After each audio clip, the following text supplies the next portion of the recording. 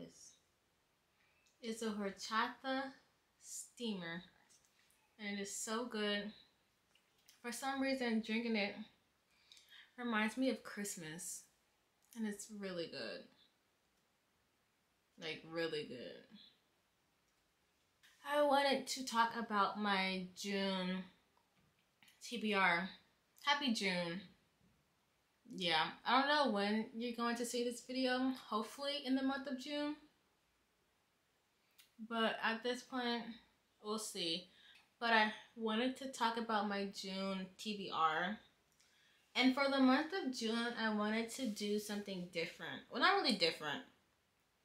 But I really want to focus on reading um my physical TBR books. Yeah, because if you know, probably not.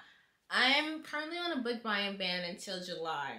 And I really want to focus on reading my physical TBRs because it's so long. It's a long list of books, and I'm just looking at them. So, yeah. June, we're going to focus on physical books.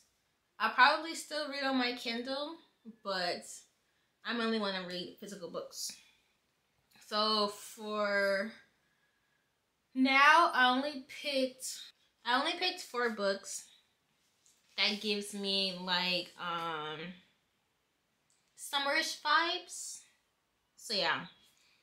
So I picked four for this to start off with. If I finish these four, I'll probably pick some more books. But I just want to focus on a small number of books for now instead of doing like a normal 10 plus books as my monthly goals. But anyway, yeah. So the first book is Love is a Revolution. This is a YA book. I would go into like description, but I'm not really good with describing stuff. So yeah, this is the first book I'm gonna start off with. And then we got Mom Jeans and Other Mistakes.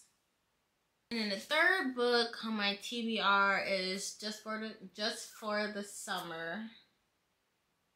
And then the last book, it's Love Redesign. And I really hope I can finish this book this month because I think the second book comes out either this month or next month. But I really think it's this month. But yeah. Those are the four books I'm going to start off with. I'm going to start off with this one because I'm going to go from the lowest page number to the highest page number. And this book is like less than 300. So yeah.